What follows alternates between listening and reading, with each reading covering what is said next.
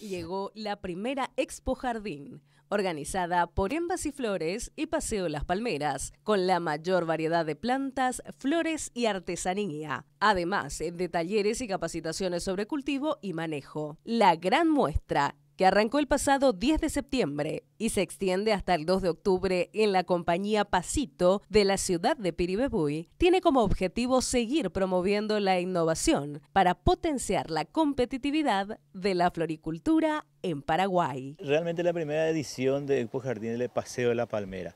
Esto viene de, eh, en nuestro país, hace la Expo Flora, hace, eh, que, en, el, en, en Asunción, ¿verdad? Se, estaba realizando y por el tema de la pandemia paró un poquito eso, ¿verdad? Entonces ahí sale la, idea, ¿verdad? Y también de los viajes que hacemos siempre, que todos los países tienen su, su expo, su expo jardín. Realmente las flores eh, está ganando su espacio, ¿verdad?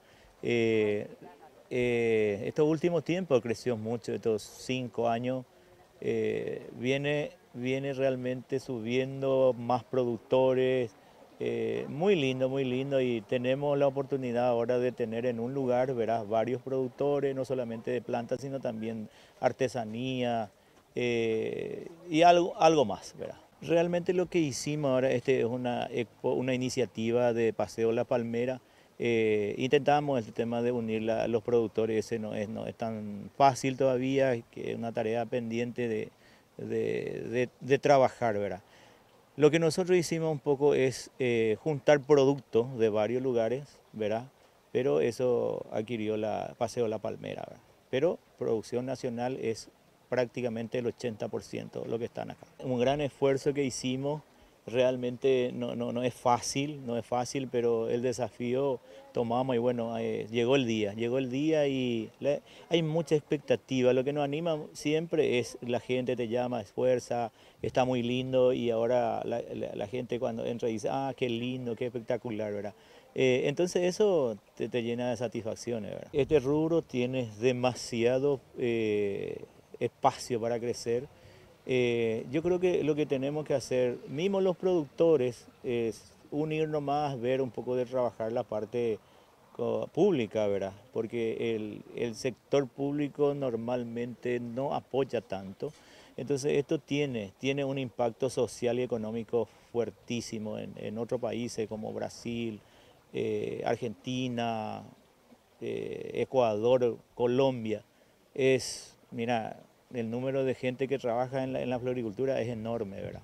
Y nosotros tenemos la oportunidad acá de, varias cositas que podríamos eh, aprovechar por el tema del clima, el agua, la energía, mano de obra, entonces eh, también se podría pensar en el tema de la exportación, ¿verdad? Realmente somos productores de, plantas de palmeras y de dracena y sindaxu, nosotros fuertes.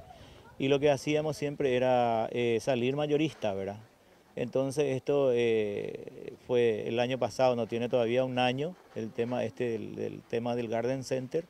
Y realmente tenemos la fuerza, la gente, tenemos este, ese tema del empuje, mucho extranjero, eh, también mucho gente local visita, compra, entonces eh, de eso se vive, ¿verdad? Si no, es imposible, ¿verdad? Y tenemos la respuesta de la gente. Yo creo que la gente cuando viene eh, entra en el, en, el, local, siempre queda realmente contento y lleva una imagen buena. ¿verdad? Yo creo que el, el, impacto, realmente lo que buscamos es el tema de fortalecer realmente la floricultura en el Paraguay. Y eso es lo que buscamos y yo creo que esta iniciativa va a tener su, su impacto en, todo, en toda parte, en todo lo que es el tema de los compradores y también los productores, porque es bueno ver eh, plantas eh, en un lugar, ver la gente y entonces yo creo que la gente, los productores y otros eh, viveristas que se dedican también a venta de, plantas y flores se van a animar a crear este tipo de espacio. Y eso es lo que buscamos, que, la gente se anime y que, haga este tipo de eventos, porque es muy lindo. Esto es, mira, para todo público. Tenemos los cursos, ¿verdad? Que hoy tenemos cursos de arreglos florales, tenemos mañana de bonsai y cada fin de semana vamos a tener así cursos, eh, talleres, ¿verdad? De diferentes, de orquídeas, de bonsai, de, de varias cosas, ¿verdad? De paisajismo. Y le invito a la gente realmente que venga, que venga con la familia eh, a disfrutar este espacio porque eh, preparamos para, para la gente y nos no, hace sentir realmente muy, muy bien porque la, eh, la, gente cuando viene y lleva ese, esa imagen y de la publicidad en boca en boca, realmente funciona y entonces quieren volver. Un niño dice, va mamá, qué te lindo, compra una planta, después la abuela, después ya vuelve el vecino, y así funciona, ¿verdad? Y es muy lindo. Y también van a encontrar, eh, eh, tenemos la gente de varios lugares de cordillera de artesanía. López sostuvo que este pequeño segmento cuenta con un gran potencial de negocio, por lo que es fundamental apuntar al mejoramiento de toda la cadena con el fin de abrir nuevas oportunidades de trabajo e ingresos para los labriegos en cualquier punto del país.